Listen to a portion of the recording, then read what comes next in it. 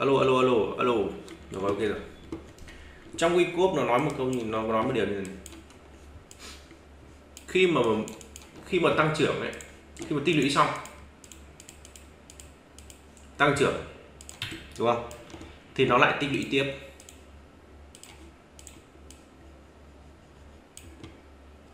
Nó lại tích lũy tiếp. Nhưng mà cái vùng tích lũy này, nó xảy ra hai trường hợp.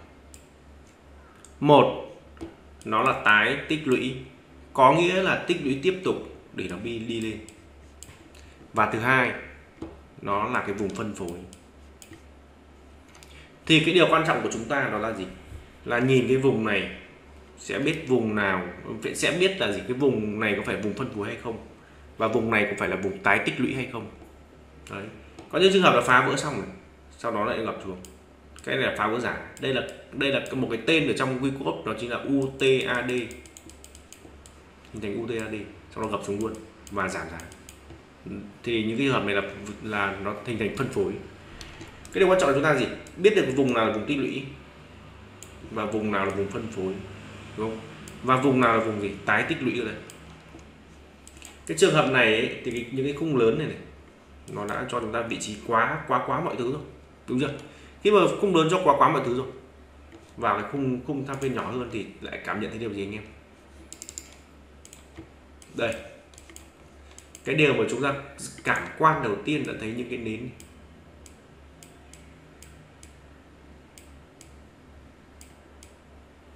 cái cảm quan này cho chúng ta cái điều gì? Ở cái vùng đỉnh này. Anh em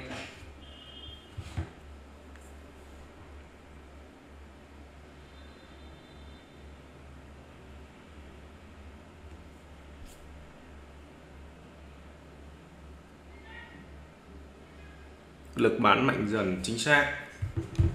Cái cảm quan ở cái vùng đỉnh này cho chúng ta biết là cái lực bán nó mạnh hơn lực mua. Anh em nhìn xem nếu, nếu những nến bán nó rất là to. Đúng chưa nến mua thì mình bé tí. Nhưng nến bán rất là to cho nên là chúng ta gì? Khi nó hình thành một vùng tích lũy. Cái lực bán lực bên nào mạnh hơn? Nếu lực bên bán mạnh hơn thì đây chính xác là vùng phân phối. Còn nếu như lực bên bán mà yếu hơn những lực mua ở đây đúng không? Thì đây là vùng tái tích lũy.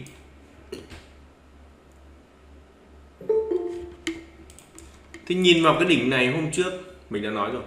Đó chính là gì? Cái tham phiên lớn cho chúng ta đảo chiều ở cái khu vực khu vực này. Sau đó nhìn những cái nến. Ban đầu là cho chúng ta những cái nến kiếm. như này. Thì chờ hồi lên mà sell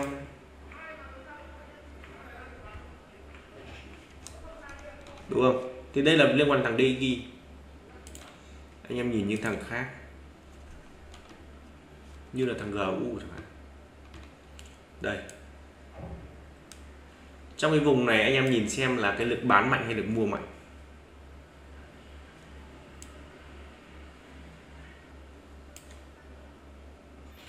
Lực mua mạnh hơn đúng không? Nó những cái nến mua to hơn này.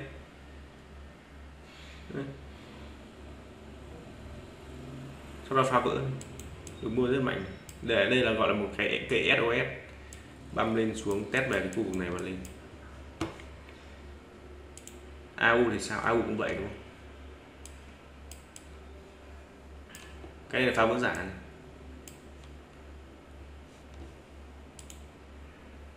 GU này. EU cũng vậy. Được chưa? EU cũng vậy. Nhưng mà EU nó rõ ràng hơn khi mà hình thành được cái xu hướng kiểu như nó tăng trưởng này. Thì nhìn vào một cái vùng giá, chúng ta sẽ biết được rằng là đó là cái vùng tích lũy hay là vùng phân phối. Lúc đó chúng ta mới chúng ta mới xử lý được lệnh. Anh em nhìn đây thì là cái vùng phân phối tích lũy?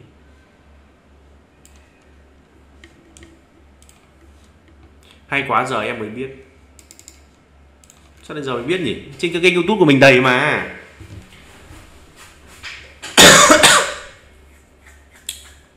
phân phối đúng không?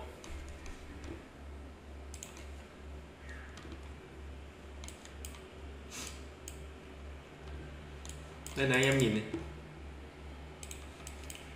Đây này. Anh em nhìn cảm quan ở đây này. Thì đã thấy.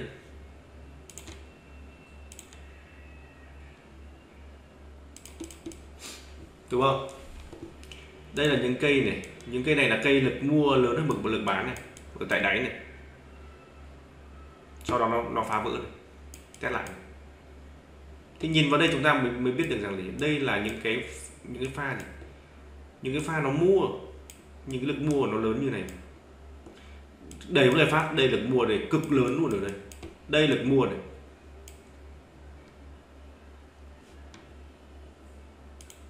BTC thì sao? Đấy anh em nhìn. Tích lũy với phân phối dùng thêm cái volume được không thể được mà thêm volume mình thì mình nhìn cảm quan nến thôi mình không dùng volume.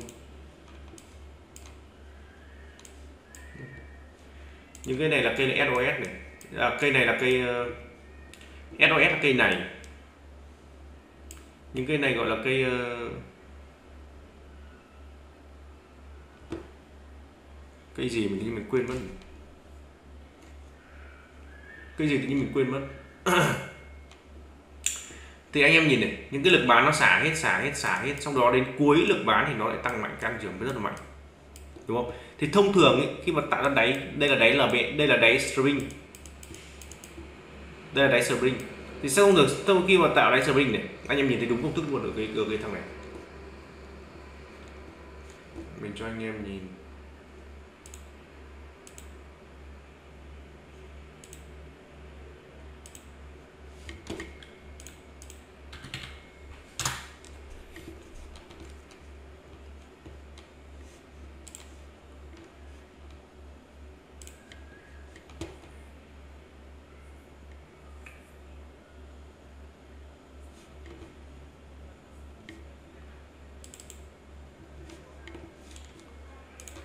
Phải chờ chút nhé.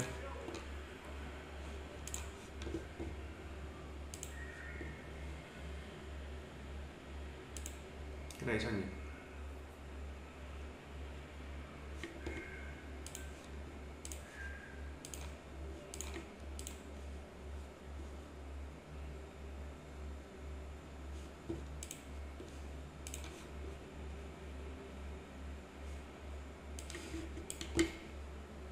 đây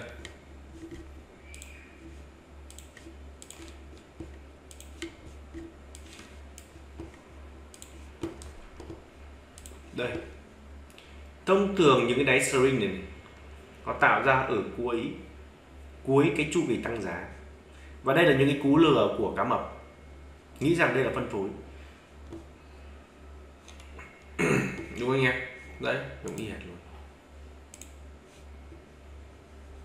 Sau đó nó cứ đặt tạo nó cái đáy là VS đây này để nó băm lên này băm lên này và băm lên vượt khỏi hẳn cái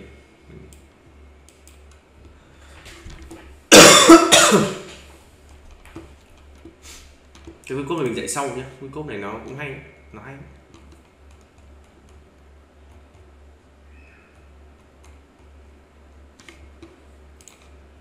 Đấy. Đúng không? Và tại tại đấy nữa. Tại kỳ. Đây này, phân phối đây anh em nhìn, anh em nhìn nhìn nó ra ngay mà, nhìn cái lực nó ra ngay cái, cái, cái, cái nhìn nhìn thấy những cái lực ở đỉnh này nó, nó ra ngay mà. Càng cuối chu kỳ nó càng tạo ra những cái cây cây đồng băm cứ càng cuối nó càng tạo ra những cây đồng băm càng cuối là lực mua càng yếu nó nó băm rồi thì thông thường nó sẽ tạo ra những cây này. Tích lũy tích lũy tích lũy tích lũy này. Phân phối nó sẽ gì? Nó sẽ nó lên đây này. Đấy, bắt đầu nó nó băm một cây đỏ đây này, sau đó lại hồi hồi một hồi hồi một cái, những cái nến nhỏ đây, sau đó nó băm. Sau đó hồi hồi những cái nến nhỏ đây, sau đó nó băm. Thì cái này phân phối là cái chắc. Phân phối là cái chắc luôn anh em đây. Phân phối đây. Anh em nhìn đây là cái quả pháo vỡ giả này. Sau đó nó gì? Nó băm xuống này. Đấy. nó test nhá. Nó băm xuống, sau đó test, băm, test xong đó lại băm mạnh. Sau đó test lên một tí, xong băm mạnh xuống. Những cái quả này thì chắc chắn luôn. Giống hệt những cái trường hợp này. Đây, đầu tiên là UTAD này. băm này. Đấy. sau đó test lên này, băm xuống này. Test lên này, băm xuống này. Test lên này, băm xuống này. Những cái lực mua ở đây nó rất là yếu ớt. Sau đó nó lại băm xuống luôn. Thì chứng tỏ đây là một vùng phân phối.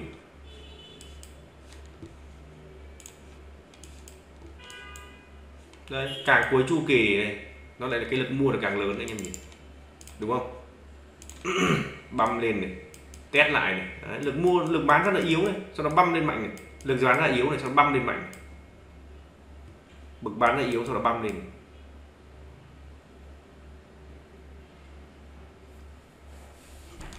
cuối chu kỳ nó đẩy giá thường nó sẽ hình thành những kiểu như này. Cứ càng cứ cuối chu kỳ đẩy giá nó thì người này và chúng ta sẽ xem tất cả những cái vùng ở cái thằng này. Đấy. càng cuối anh em nhìn nhé nếu như mình vào M30 nó sẽ rõ ràng hơn ở thằng này. Em nhìn nhé, đầu tiên là phá vỡ giá này. Băm này. Xong đó nó bán này. Băm này. Lực bán yếu này sau đó băm này. Lực bán yếu này sau đó băm này. Lực bán yếu sau đó băm này. Đây là tạo ra các đáy LBS LBS là gì? Là giá siết chặt và khối lượng nhỏ sau đó nó băm. Cứ giá siết chặt khối lượng nhỏ, sau đó băm. Là là các đáy LBS để nó tăng trưởng.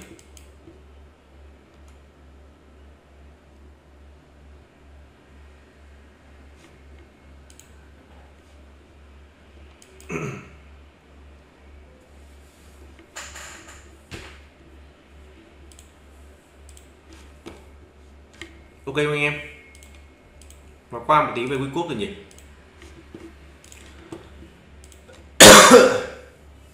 Tích lũy với phân phối dùng thêm cái volume à cái này câu trả lời. Nó dùng thêm cái volume volume volume dùng ngon mà. Volume dùng dùng, dùng sướng mà.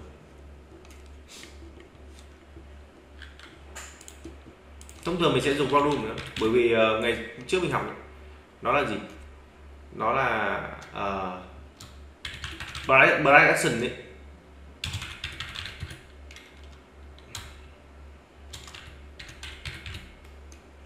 Khối lượng dòng khối lượng số lượng khối lượng dòng.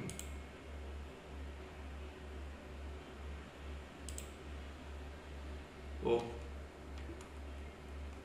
Follow đâu rồi.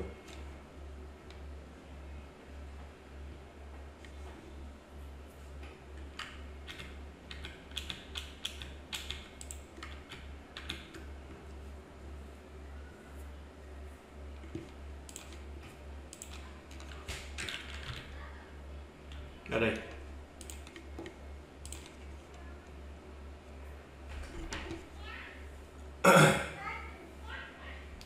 Thông thường ở một vùng ấy, ở một cái vùng giá mà được coi là tích lũy thì cái cái lúc mà khối lượng mà nó băm khối lượng ở cái vùng tích lũy thì thông thường cái khối lượng mua vào nó sẽ nhiều hơn khối lượng bán ra khối lượng mua vào nhiều khối lượng bán ra.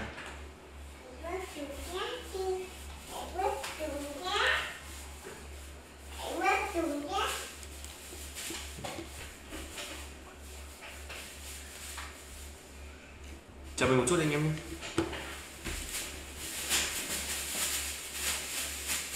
Bố đang dậy mà, bố đang bận việc.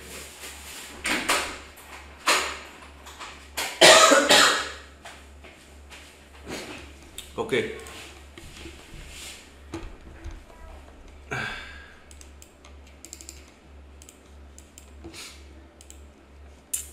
Kinh nhỉ nhỉ. Quả này quả này nhiều nhiều ông vào là cháy tài khoản nhiều một cháy tài khoản. Đã không giữ được vốn cháy tài khoản ngay. Đúng không? Anh em nghĩ rằng là quả này có nhiều ông cháy tài khoản không?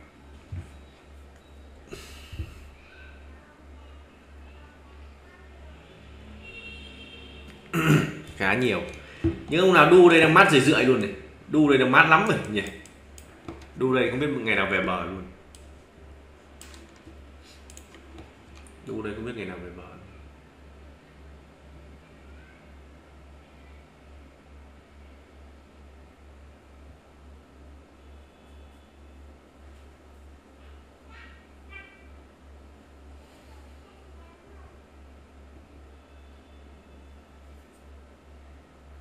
Nó về cái vùng này là chắc chắn ở cái dấu hiệu này nó đảo chiều rồi. Anh em có thể limit đây này. Anh có thể mua một lệnh nhỏ đây này, sau đó trung bình giá xuống cái, những cái điểm này. Nhỏ thôi, anh em ạ. Anh em mua nhỏ thôi 0.1 cứ 0.1 mua dần mua dần 0.1 0.1 0.1 không. Đấy, cứ mua dần như vậy. Ở đây là có thể gần gần đến điểm mua được rồi. Là cứ mua dần, trung bình giá, mua dần, mua nhỏ thôi cứ mua nhỏ thôi, mua dần. Là nó sẽ ngon, bởi vì nó đến cái vùng này vùng này chắc chắn nó sẽ đẩy giá lên. Ừ. Mua dần đến đây này, mua dần đến dưới này. mua từ đây luôn, cứ 0.1 cách mấy giá lại mua một lần.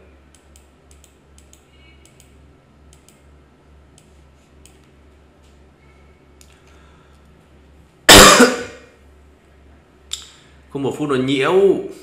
Một phút mới sợ chỉ tích cứ đánh tích đánh một phút.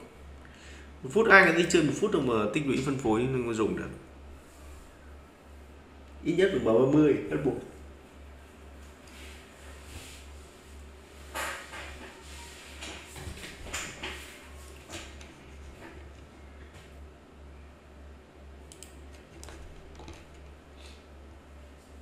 EU đấy EU nó phải đến cái vùng nào? Đến cái vùng mà gì cái vùng này vùng này mới phản ứng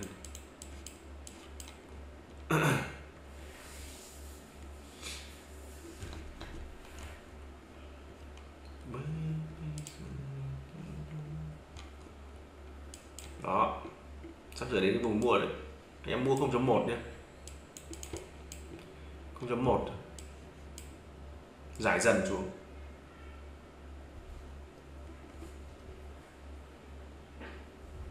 Đến đến điểm luôn được không? Đến điểm này là chắc chắn nó sẽ quay đầu. Nhưng quan trọng là nó đến vùng nào quay đầu mà thôi. Cho nên chúng ta nếu chúng ta đánh, chúng ta cứ đánh giải dần lệnh này.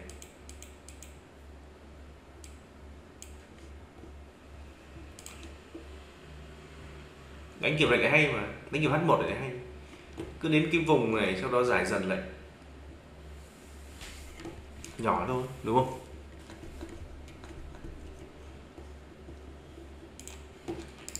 Ok. Bước buổi học ngày hôm nay nha anh em nhé.